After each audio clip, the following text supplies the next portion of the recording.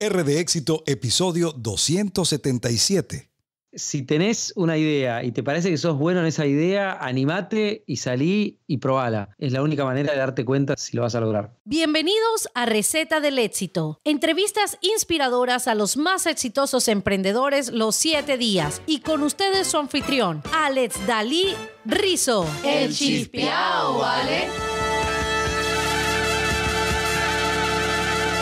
Amigas y amigos, bienvenidos una vez más a Receta del Éxito. Y mi gente de éxito, si quieres generar dinero constantemente, tienes que tener un funnel o embudo de ventas que realmente venda. Únete al reto del fundador de ClickFunnels, Russell Brunson, One Funnel Away Challenge, donde aprenderás a crear e implementar tu funnel o embudo de ventas desde cero en solo 30 días. Para crear el funnel que multiplicará tus ingresos en el 2020, regístrate hoy, recetadelexito.com diagonal reto. Nuevamente, recetadelexito.com diagonal reto.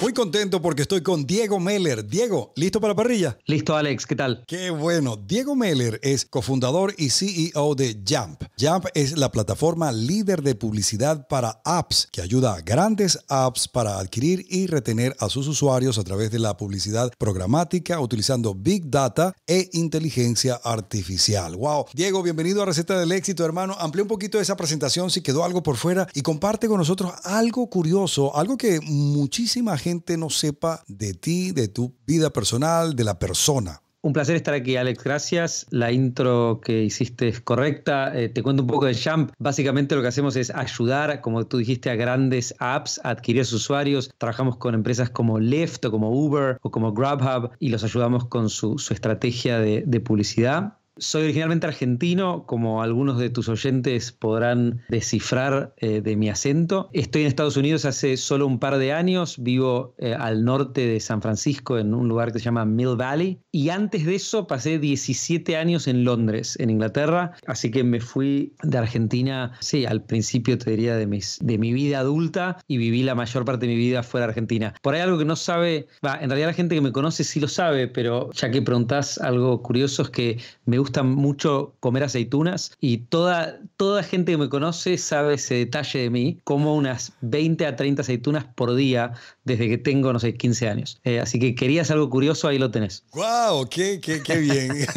Está bien. Ahora, Diego, ¿tú recuerdas cuál era tu plato favorito que preparaban en casa cuando eras niño, que siempre pedías, siempre querías ese plato? ¿Cuál era? Por ahí lo que más, estoy tratando de acordarme, lo que más comía, que así que de pedir en Argentina tenemos un plato que los argentinos nos creemos que es argentino, pero en realidad es español, que es la tortilla de papa, que en España, a ver, es un plato español, en inglés por ahí es el, Spanish omelette, o sea, es eh, eh, patata, o sea, papa con, con huevo y, cebolla. Te diría que eso por ahí es mi, favorito y algo que extraño bastante Argentina, por suerte mi, mujer, que no es argentina, aprendió la receta y lo hace en casa bastante seguido. ¿Verdad? Oye, qué bien. Ahora, Diego, entremos a tu zona de genio, tu área de éxito. Si tuvieras que sacar una ficha y decir, mira, Alex, mi mayor fortaleza como emprendedor es esta, ¿cuál sería? Te comento primero que no me considero ningún genio. Creo que ser emprendedor tiene mucho más que ver con poner mucha energía y mucha garra y tener mucha persistencia y ser paciente de alguna manera y, seguir empujando y no tanto con, con tener super ideas. Creo que lo que define al emprendedor es la perseverancia y no tanto el, la idea o no tanto el ser innovador. Como siempre se dice, las ideas no valen mucho. O sea, si tratás de vender una idea no, no vas a tener muchos, muchos compradores. Lo que, lo que vale es cómo ejecutás y cómo llevas a cabo esa idea, cómo implementás un plan. En mi caso, creo que mi, mi fortaleza, no, no sé fortaleza, o mi, mi, mi, mi trait o mi feature como emprendedor tiene que ver con eso, tiene que ver con la perseverancia. Para darte una idea, Jump es mi segundo compañía. Mi primera compañía es una compañía que empecé cuando estaba en la universidad. Esa compañía tardamos 7, 8 años en hacer que sea exitosa y terminamos vendiéndola a una compañía muy grande, pública, y tuvimos mucha suerte que ese primer emprendimiento nos fue, nos fue muy bien. Cuando hablo en plural es, hablo de mi socio y yo somos socios hace, hace casi 20 años y empezamos esta compañía que te, acabo de contar y ahora en Jump también somos, somos socios. Entonces, creo que es eso, es la perseverancia, es el, seguir empujando cuando todas las señales te dicen que tenés que abandonar y que tenés que, que tirar la toalla, como decimos en Argentina, es seguir para adelante, porque nunca sabes cuán cerca estás de, del éxito, o cuán cerca estás de que pase algo que te permita crecer o te permita finalmente llegar a algo que tenga sentido. Ahora, estamos ahora mismo con mucha gente, muchos emprendedores en su casa, ¿verdad? Tratando de llevar su negocio a nivel digital y tú tienes Jump. Háblanos un poquito de ese modelo de negocio. ¿Cómo funciona? ¿Cómo generas ingresos hoy? Show me the money. Lo que hace Jump es algo que está dentro de un sector de la publicidad o del, marketing eh, lo que se llama performance marketing y performance marketing quiere decir mostrar anuncios que generen un outcome, o sea, un resultado concreto para el anunciante. Entonces, en nuestro caso, nos enfocamos mucho en las verticales de, por ejemplo, food delivery o ride sharing, como Uber, como Lyft, y lo que hacemos es mostrar publicidades de manera programática. Programática quiere decir que es una computadora conectándose a otra computadora, analizando ciertas variables que tienen que ver con el contexto donde está esa publicidad y la información de comportamiento que tenemos de los usuarios de una determinada app y tratar de adivinar el valor de esa publicidad o de ese espacio de publicidad para targetear o para apuntar a un usuario que tiene alta probabilidad de convertirse en un usuario que compra, que pide comida, que compra algo a través de una app, etc. Entonces, para darte un ejemplo más concreto, si ves una publicidad de una app de pedidos de comida que te muestra un restaurante cerca de tu casa, ese es el tipo de cosas que hacemos. O sea, estamos personalizando la publicidad para aumentar la probabilidad de que hagas clic y que eventualmente te bajes esa app y que pidas una pizza o sushi o lo que sea que, quieras comer y, generes una ganancia, una compra. Entonces, lo que hace Jump, estamos comprando estos espacios de publicidad en lo que se llama ad exchanges o, grandes bolsas de publicidad y vendiendo a nuestros clientes el servicio de optimizar esa publicidad y de ahí sacamos un margen. Entonces, nos dan grandes presupuestos de publicidad y ayudamos con esa compra y sacamos un margen de esa, de esa transacción. Es un negocio bastante sofisticado, o sea, es algo que es un negocio B2B donde vendemos a otras compañías y tiene un comprador que es bastante sofisticado y está mirando las métricas constantemente y es estamos constantemente mejorando la manera que, que estos algoritmos o este robot, digamos, compra la publicidad para lograr mejores resultados. Un momento eureka, Diego, que hayas tenido en este emprendimiento. O sea, ¿en qué momento dijiste, wow, mira, por aquí es que es la cosa, por aquí es que me voy a ir, esto es lo mío? ¿Cómo fue? ¿Dónde estabas? ¿Estabas con tu socio? ¿A quién se le ocurrió? ¿Cómo fue eso? Cuéntanos ese eureka. Yo creo que cada emprendimiento emprendimiento tiene su, historia y yo soy muy, estoy en contra de, idealizar la idea, a ver, de, de, hacer romántica la idea del emprendedor. Yo creo que la vida del emprendedor en general es mucho más dura de lo que la gente se imagina y en mi caso, por lo menos, no hay un momento, no es, viste, como en, no sé, en la película Back to the Future, que se cae en la bañadera a Doc y se le ocurre la idea de la, máquina de viajar en el tiempo. Creo que para tener, como te decía antes, las ideas no son tan importantes. La clave de, emprender es, es salir a hacer cosas, pegarse con el mercado, chocarse con el mercado, aprender de esa interacción, iterar la idea para eventualmente llegar a algo que agregue valor en Jump, por ejemplo, y de este hecho me pasó en, tanto Jump como en Libra, nuestra primera compañía, lo que empezamos a hacer no fue lo que terminamos haciendo y no fue el negocio que terminó funcionando. En el caso de Jump, por ejemplo, empezamos como una empresa de juegos, éramos un estudio que diseñaba juegos, hicimos eso por dos años, nos fue muy mal diseñando juegos, éramos malísimos haciendo juegos y a través de esa experiencia empezamos a buscar maneras de monetizar el tráfico que teníamos en esos juegos y así nació la plataforma de publicidad que hoy es Jump. Ahora, nunca hubiéramos llegado a lo que hoy es Jump si no hubiéramos salido a hacer juegos. Entonces, si no salís a probar, es difícil que el mercado te corrija, digamos. Entonces, la receta por ahí, en mi caso la receta es que no hay receta y la receta es que hay que salir a, a probar. Y cuando salís a probar, el mercado te golpea por todos lados y, ahí es a donde encontrás, o no, te puede ir mal también, pero si no, a si no te tirás a la pileta, como dicen en Argentina, si no te tirás a la piscina, no aprendes a nadar, digamos, o no encontrás eso que funciona. Ahora, un momento difícil, porque fíjate, en esto del emprendimiento, y tú estás muy cierto en esto que que dice de que no hay nada de romanticismo en esto de emprender porque la dificultad, el reto, el tropiezo, el no forma parte constante y segura de emprender. Llévanos al sitio más doloroso, al momento más doloroso como emprendedor y nos cuentas cómo superaste esa situación para poder extraer de allí la mayor lección. ¿Recuerdas ese momento? ¿Qué sucedió? ¿Cuál fue la transacción? ¿Cómo fue? En mi caso, hace 20 años que soy emprendedor y de hecho es lo único que hice, no, no, nunca hice nada, ninguna otra cosa en, mi vida. Y cuando me preguntás de un momento difícil, es como que no sé, no sé una colección. porque hay, porque hay, hay demasiados. Ok, eh, uno. Justamente lo que, como te decía antes, para mí, la diferencia entre un emprendedor y no emprendedor es que el no emprendedor ante el primer momento difícil vuelve a trabajar de lo que trabajaba antes o dice, ¿sabes qué? Esto no es para mí, me busco un trabajo en un banco, en consultoría o me voy a hacer otra cosa. Creo que el emprendedor es parte de la realidad tener constantes altibajos, constantes tormentas, o sea, seguir, siempre estar navegando para mí, cuando es un momento de tranquilidad, es simplemente el momento entre tormenta y tormenta, digamos. Y, el, y por ahí, a ver, el más reciente creo que es bastante obvio, pero la, la, pandemia que vivimos este año y todo lo que eso produjo fue un desafío inmenso para un montón de gente. En nuestro caso en particular, tuvimos una, una baja de, de, revenue, de, de, ventas muy violenta al principio del lockdown de la pandemia. Y bueno, tuvimos que, que tomar una serie de decisiones difíciles para optimizar costos, para asegurar la supervivencia de la compañía. Por suerte esas decisiones fueron acertadas y creo que hoy hemos recuperado, de hecho estamos casi en el mismo lugar que estábamos antes de la pandemia. Pero bueno, aprendimos un montón de, de cosas, en particular que hay que reaccionar muy rápido con estas cosas y cuanto antes se ejecutan cambios eh, mejor. O sea, cuando uno sabe que tiene que hacer un cambio,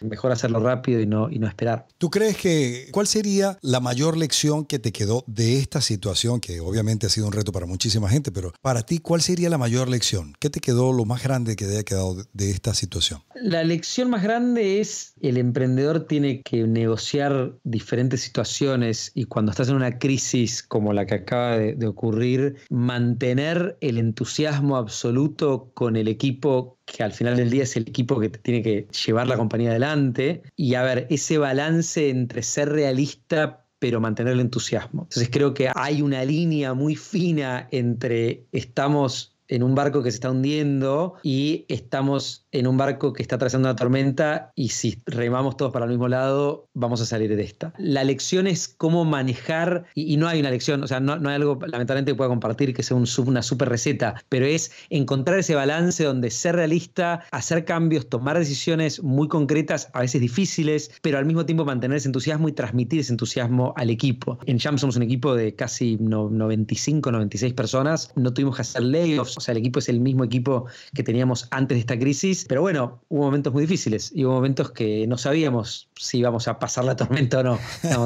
y, parte, creo que parte de la razón por la cual la pasamos fue haber mantenido ese entusiasmo y que la gente siga trabajando para, para salir de la crisis. Diego, el momento más sabroso, porque me imagino que también tienes una colección de momentos, de logros, de, qué sé yo, reconocimientos, transacciones especiales que esperabas y se dieron. El momento más alegre que tú dijiste, wow, me está pasando esto, qué emocionante. ¿Recuerdas ese momento? Cuéntanos esa historia una cosa que me, por ahí no lo defino como un momento, pero, pero algo que me pone súper orgulloso es nuestra primera compañía, Libra, que vendimos a principios del 2008. Me pone muy, a ver, en general nos puso muy orgullosos cuando vendimos la compañía, más allá de que nos fue bien financieramente y que ganamos dinero, llegar a algo que viene otra empresa y le adjudica un valor y algo que construiste por tantos años vale tanto para otra persona es algo que te llena de orgullo. Pero todavía más cuando eso perdura en el tiempo. Y la compañía que empecé, la empezamos en el 1999, esa compañía que vendimos sigue existiendo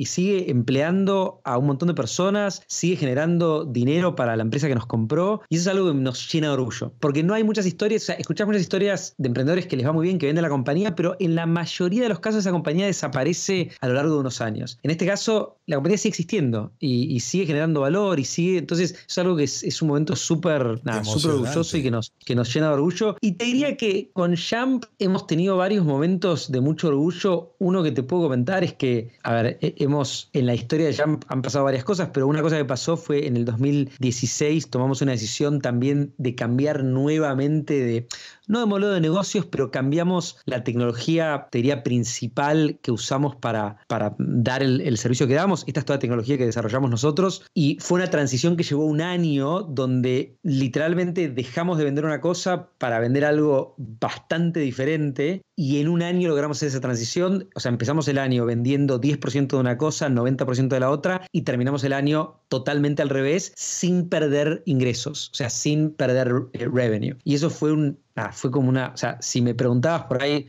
que apueste dinero en, ese cambio cuando empezamos. No sé si apostaba dinero, o sea, no, estaba seguro que lo podíamos, lo podíamos lograr, pero lo logramos y es algo que nos pone muy orgullosos también. Definitivo, qué emocionante. Te pregunto, Diego, ¿te gusta el picante? Sabes que no, y sabes que los argentinos, no sé cuántos argentinos conoces, no somos de comer picante, pero, pero bueno, ahora estoy en Estados Unidos y no, cuando voy a un restaurante mexicano no, no tengo opción, pero como más picante que antes. Sí. Come más picante que antes. Bueno, prepárate porque ahora viene la ronda picosa. Y antes de continuar con la ronda picosa, hagamos una pequeña pausa para hablar de nuestro patrocinante.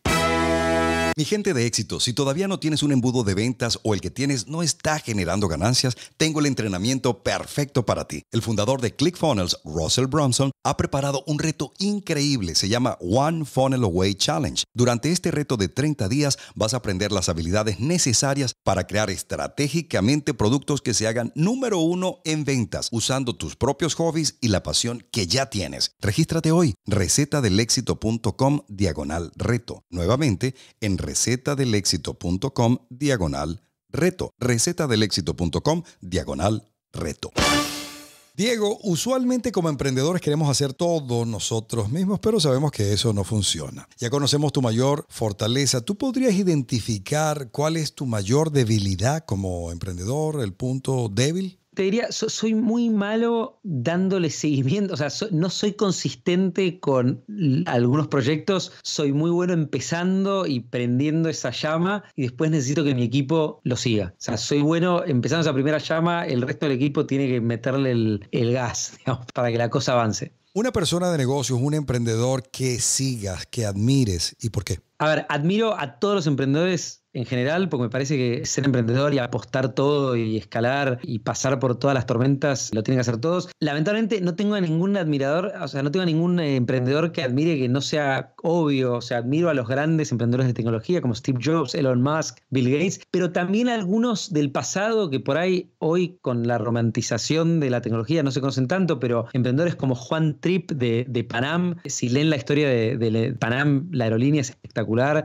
o Edwin Land de Paul son historias espectaculares que le recomiendo a todos eh, leer. Una aplicación, y aquí me imagino que tienes 500 mil opciones, pero una aplicación que tengas en tu teléfono, en tu computadora, una herramienta que te hace la vida más fácil como emprendedor y que quieras recomendar a gente de éxito. Voy a ser contrario acá. Una de las cosas que hacemos en Jump y que yo soy muy pesado con mi equipo también es la comunicación asincrónica. Y la comunicación asincrónica quiere decir, mandame un email, no me interrumpas. Y, esa es la app que, que, recomiendo. O sea, en un mundo donde es todo directo, o sea, cuando me escriben por WhatsApp, eh, quiero tirar el, teléfono por la ventana. Creo que como emprendedor hay momentos donde hay que pensar, donde hay que concentrarse, donde hay que tener tiempo para uno y para trabajar. Recomiendo mandar emails y que la gente elija contestar cuando te quiere contestar y no estar constantemente interrumpiendo en Slack o en otra cosa. Como app usamos Google Docs, en Jump eh, no hacemos nada que no sea con Google Docs y recomiendo a todos usar eso también. Tu siguiente gran paso, ¿qué te quita el sueño hoy? Eh, más que nada mis hijos, cuando se me meten en la cama en el medio de la noche o se ponen a llorar, pero en términos de, de trabajo, diría que no, a ver, nada me quita el sueño, estoy acostumbrado a los, a los altibajos. Por ahí lo que me entusiasma es un, proyecto que empecé a partir de la pandemia que se llama Jumpers in Quarantine, que es un podcast que tengo, es un video podcast donde hago una especie de, late night show donde entrevisto a empleados de la compañía y, solo lo, lo, distribuimos en la compañía. Y es algo súper divertido que me, me hizo estar mucho más cerca del equipo, conocer a un montón de gente que no necesariamente tenía contacto antes. Es algo que hacemos para reírnos un poco, para tomarnos un, cóctel y pasarla bien. Tu hábito de oro, Diego, ¿cuál es ese hábito? En eh, los hábitos, creo que cualquier hábito que teníamos antes de esta cosa de work from home eh, fueron destruidos por la estar en casa con los niños haciendo clases en Zoom. Pero un hábito, una cosa que para mí es importante y es algo que me costó muchos años entender, es que como emprendedor, relacionado a mi debilidad que te conté antes de no ser constante, tengo totalmente aceptado que tengo momentos en los que soy productivo y momentos en los que no, y esos momentos son bastante aleatorios. Entonces, el hábito que tengo es cuando me doy cuenta que no estoy siendo productivo, me paro, salgo del escritorio y me pongo a hacer otra cosa. Salgo a caminar, salgo a andar en bicicleta, me voy a jugar con mis niños. Trato de no forzar la productividad cuando sé que no va a suceder. Y por ahí ese es un hábito que no me esfuerzo a ser productivo. Si me doy cuenta que estoy perdiendo el tiempo, me levanto y me voy a hacer otra cosa. Un libro, Diego, que te haya impactado y que quieras recomendar a gente de éxito como Biblia del emprendedor, y voy a ser molesto y te voy a contestar varios libros, pero los libros, la, Biblia de cualquier emprendedor o libros que me, me, inspiraron son bastante obvios, pero los voy a recomendar. Lean Startup de, Eric Rice, The Hard Thing About Hard Things de Ben Horowitz, Rework de Jason Fried y From Zero to One de, o Zero to One de Peter Thiel. Eh, son libros que cualquier emprendedor debería leer. Mi gente de éxito, lo vamos a tener en las notas del episodio. Sé que amas consumir contenido, mi gente de éxito, en el formato de audio, así como estos podcasts y los audiolibros. Por eso me uní a Audible para que puedas tener este dato en particular. Si no lo has hecho, puedes tener el primer audiolibro totalmente gratis. Si visitas recetadelexito.com diagonal audiolibro, entras en la plataforma de Audible, buscas cualquiera de estos libros que recomendó Diego o el que sea de tu preferencia y por tratar por 30 días la plataforma de Audible tienes el primer audiolibro totalmente gratis independientemente de si terminas la membresía si terminas la suscripción o la continúas. Así que te dejo ese dato, recetadelexito.com, diagonal audiolibro. Diego, llegamos al plato fuerte, hermano, de esta comelona. Esta es tu receta del éxito, tu blueprint, como dicen. Cuando me dicen, ¿cómo lo hiciste? Ahí está, en receta del éxito. Te pregunto, si te pones por un instante en los zapatos de esas personas que forman el 85% de la población, según dice Tony Robbins, que odia su trabajo, o sea, todos los días se enfrenta a este dilema de hacer una actividad que no le gusta para nada porque tiene que llevar comida a la casa, ¿verdad? Pero te escucha aquí hablando de, todo lo que estás haciendo, de tus emprendimientos. No has hecho otra cosa que no sea emprender. Has llegado a este punto, manejas una gran compañía, estás en una solución y dices, wow, voy a seguir esa línea. Si se va todo, pero te queda la experiencia y el conocimiento que tienes hoy, ¿podrías enumerar los pasos específicos claros y prácticos que harías en los próximos 30 días si Diego Meller empieza desde cero hoy? Lo que diría es lo siguiente, a la gente que está descontenta con su trabajo, que como decís es la mayoría, a ver, volviendo a la desmitificación del emprendedor, gran parte del trabajo emprendedor tampoco es un camino fácil y tampoco es la felicidad absoluta. Y de hecho, la mayoría de los emprendedores fracasan, o por lo menos fracasan la primera vez. Ser emprendedor no es el camino obvio a la felicidad. Y creo que a veces es difícil separar lo que a uno le gusta de lo que uno es bueno haciendo. Y no necesariamente uno es bueno haciendo algo que le gusta. A mí me encanta escuchar música, pero soy malísimo haciendo música. Y me encanta jugar videojuegos y monté una compañía para hacer videojuegos y éramos malísimos haciendo videojuegos. Entonces creo que una cosa importante es mirarse en el espejo y separar lo que uno es bueno haciendo de lo que uno disfruta o, o lo que le gusta hacer. Y creo que buscaría la manera de hacer, creo que la felicidad no tiene necesariamente que ver con, la, con el éxito financiero o con el éxito en lo que hace y buscaría la manera de hacer lo que a uno le gusta fuera del trabajo, fuera del, del trabajo diario. Ahora, si tenés la suerte de ser bueno en algo que encima te gusta y que encima tiene vías de, ser redituable o de ser un éxito en términos de negocios, bueno, definitivamente iría por esa dirección y trataría de ver cómo materializar eso en un proyecto, cómo buscar un socio que aporte algo que vos no tenés o algo que en lo que vos no sos bueno y que seas complementario. Por ejemplo, antes te conté de mi socio, somos socios hace 20 años, somos súper complementarios, él es bueno en cosas que yo no soy bueno y yo soy bueno en cosas que él, es, eh, eh, que él no es bueno. Creo que te diría que esos pasos medio desordenados que te acabo de dar es lo que, lo que haría. Y por último, planearía menos y haría más. Creo que, como, como ya dije un par de veces, hay que salir a probar y hay que salir a hacer las cosas y no te das cuenta de lo que puede funcionar o lo que no puede funcionar hasta que no salís. O sea, si mientras sea una idea, vas a tener todas las preguntas. A medida que salís al mercado, que empezás a hacer algo, que empezás a probar, y hoy, y por ahí una cosa que te digo, es que hoy hay muchas maneras muy baratas de probar cosas. Uno puede muy fácilmente montar un sitio, montar una tienda de e-commerce, montar, hacer una encuesta, eh, hacer una publicidad en Google en Facebook por 50 dólares. Te puedes enterar más o menos si un concepto o una idea que tenés tiene alguna probabilidad de de ser exitosa. Pero si mientras sea una idea y no sea algo que salís a probar, que salís a, ejecutar, nunca va a pasar nada. Entonces hay que dar ese paso, hay que saltar, dar el paso, meterse en la selva y probar. Creo que ese es el consejo. Mi gente de éxito, ahí está la receta completa de Diego Meller. Diego, estoy seguro que mucha gente va a querer saber más de ti, de Jump, de lo que haces. ¿Cuál es la mejor forma de conectar contigo, hermano? Luego una frase de éxito y nos despedimos. Me pueden seguir en Twitter, soy bastante activo en Twitter. Mi usuario es Diemel, D-I-E-M-E-L. Eh, o bienvenidos a escribirme directamente por email a diego.jump.com. Jump se escribe J-A-M-P-P.com.